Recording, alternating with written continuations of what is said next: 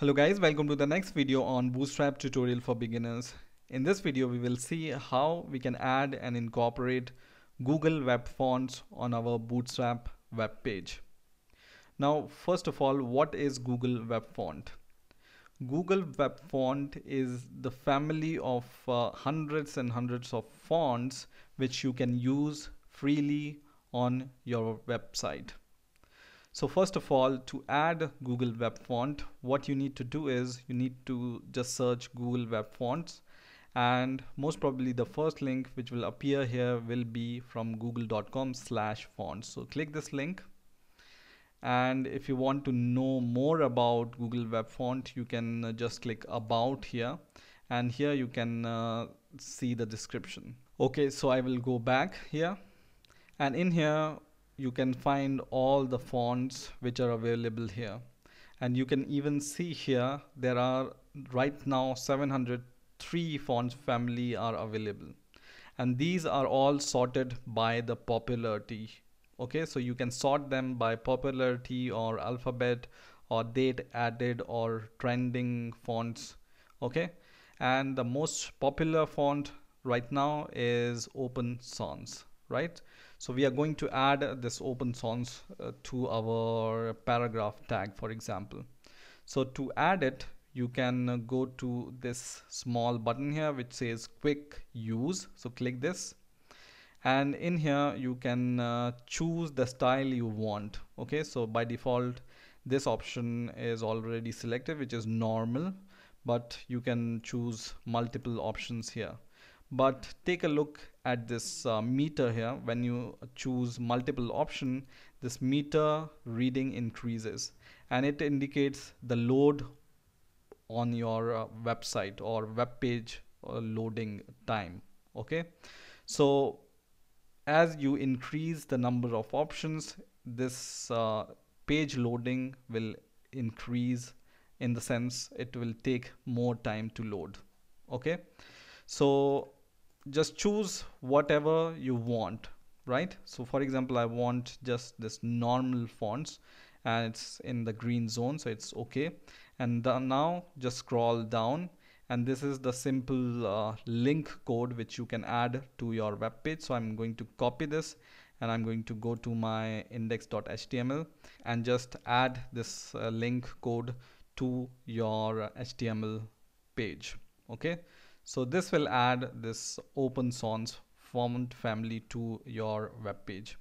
Now we need to add uh, or change our CSS file also. So I'm going to open my CSS file and in my CSS file what I need to do is I just need to copy the code from here for the CSS which is integrate the font into your CSS so just copy this code from here and go to your CSS file and just for example I want to add it to the paragraph tag so I can just add it like this. And in here you can just copy and paste this uh, code here right? And just save it. And I'm going to run my HTML page on my browser. And you can see this font here is changed to uh, open sans because this is a paragraph and it's in inside the paragraph tag. So this font will change to open sans which we have added. So to see the difference we can go to uh, our page which we have uh, earlier which was this.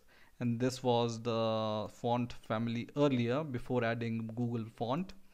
And now this looks like this. Okay so it's changed to open sans now for example you want to uh, add some more fonts you can once again go to your uh, Google font site.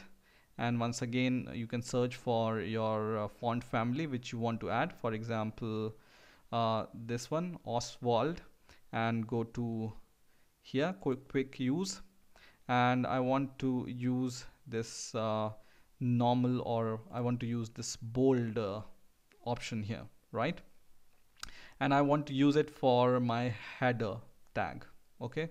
So I will copy this code once again paste this link in my HTML page and I will go to my CSS file. And for example I want to add this for h1 tag so I will just add here h1 and just copy the font CSS code from here. So just copy this and paste it into your CSS file here okay? And I'm going to once again run my web page. And you can see this h1 tag is uh, changed. So here I was using uh, h1 tag for displaying hello world. Earlier it was like this. But after incorporating this font it will look like this. Now for example you want to uh, add this font for other header tags for example h2 and h3 tags. You can just go to your uh, css file and just add this h2 tag here. Okay so you can add these uh, font family uh, to your css file like this.